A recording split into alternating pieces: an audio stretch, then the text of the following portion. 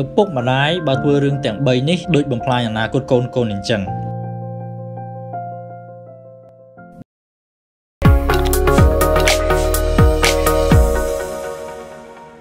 Clinic SP ផ្ដល់ជូនសេវាកម្មផ្ដល់លើសុខភាពបន្តពូជបុរសស្ត្រីនិងការបង្កកំណើតដែលមានផលិតផល SP រូបមន្តរបស់សហរដ្ឋអាមេរិក SP ផ្ដល់ភាពជោគជ័យដល់អតិថិជនរាប់ម៉ឺននាក់លើសុខភាពបន្តពូជនិងមានអតិថិជនមានកូនជោគជ័យជាច្រើនអ្នក SP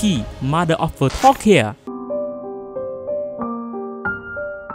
ក្នុងគ្រួសារមួយទម្លាប់ឪពុកម្ដាយមានឥទ្ធិពលខ្លាំងណាស់ដល់កូនកូនរបស់លោកអ្នករៀនទាំងគំរូល្អនិងគំរូអាក្រក់ពីអ្នកបើរៀនគំរូអាក្រក់ច្រើនពេកនៅថ្ងៃអនាគតពួកគេមិនអាចក្លាយទៅជាបុគ្គលល្អនោះទេហើយគំរូអាក្រក់ខ្លះវាបណ្ដាលឲ្យកូនរបស់លោកអ្នកនឹងអាចមានបញ្ហាផ្លូវចិត្តនៅពេលអនាគតដោយមើលឃើញ បញ្ហានេះហើយក្រុមការងារចាប់បៃតងសូមលើកយករឿង3ដែលឪពុកម្ដាយមិនគួរធ្វើចំពោះមុខកូនខ្លួនឯងរឿងទី1កុំឆ្លោះប្រកែកគ្នាខ្លាំងៗចំពោះមុខកូនក្នុងគ្រួសារមួយតែងតែមានបញ្ហាចំនួនបន្តិចបន្តួចជារឿងធម្មតាតែមិនគួរឆ្លោះគ្នាចំពោះមុខកូនកូននោះទេព្រោះបើពុកម្ដាយឆ្លោះគ្នាវាធ្វើឲ្យកូនកូនរបស់លោកអ្នកនឹងមានអារម្មណ៍តក់ស្លុតភ័យខ្លាចហើយអាចប៉ះទង្គិចផ្លូវចិត្តទៀតផងវាអាចធ្វើឲ្យកូនអ្នកខ្លាចទៅជាក្មេងឆេវឆាវចូលចិត្តឆ្លោះប្រកែកគ្នាជាមួយមិត្តភ័ក្តិពេលនៅសាលាឬក៏ពេលលេងជុំគ្នាជាដើមម្យ៉ាងវិញទៀតតាមរយៈបទសម្ភាសន៍រវាងចាបបៃតងនិងអ្នកជំនាញចិត្តសាស្ត្រកន្លងមកបានលើកឡើងថាអំពើហិង្សាក្នុងគ្រួសារអាចបង្កឲ្យ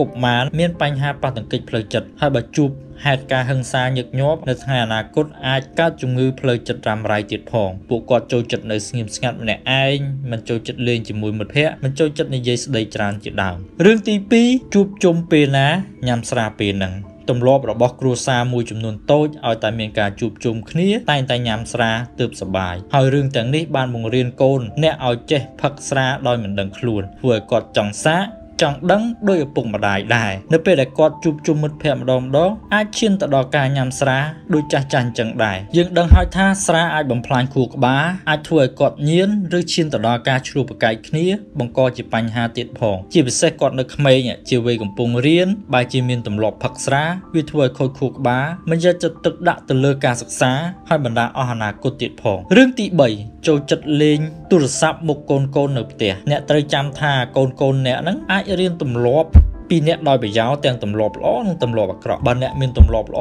កូនកូនអ្នកក៏អាចរៀនទៅតាមនោះដែរដូច្នេះពេលមកដល់ផ្ទះមិនគួរលេងទូរស័ព្ទច្រើនពេកនោះទេព្រោះវាជាគំរូមិនល្អដល់កូនទេ អ្នកគួរបង្កើតទម្លាប់ការអានសិភៅនិយាយរឿងប្រវត្តិសាស្ត្រប្រាប់កូនកូននិយាយរឿងនិទានវាអាចធ្វើឲ្យកូនអ្នកមានទម្លាប់អានសិភៅទម្លាប់រៀនសូត្រកាន់តែច្រើនបើអ្នកចាំបាច់ប្រើទូរស័ព្ទយើងអាចប្រើនៅកន្លែងដែលពួកគាត់មិនអាចឃើញយើងឬក៏ចាំគាត់សម្រាកចូលគេងហើយចាំយើងប្រើក៏បានដែរឪពុកម្ដាយគួរតែបង្កើតពេលវេលាជាមួយកូនកូនដូចជានាំពួកគាត់ទៅបណ្ណាគារដើម្បីទិញសិភៅនាំមើលសិភៅទៅកន្លែងហាត់ប្រាណនិងចូលសារមន្ទីរជាដើមជាថ្មីម្ដងទៀតក្រុមការងារចាប់បៃតងសង្ឃឹមថាឪពុកម្ដាយនឹងជៀសវាងរឿងទាំង3នេះដើម្បីអនាគតកូនកូនបើលោកអ្នកចង់តាមដានវីដេអូនិយាយអំពីកូននិងសុខភាពសូមធ្វើការ share ចែករំលែកវីដេអូនេះនិងចុច follow page Healthy Cambodia ទាំងអស់គ្នាសូមអរគុណ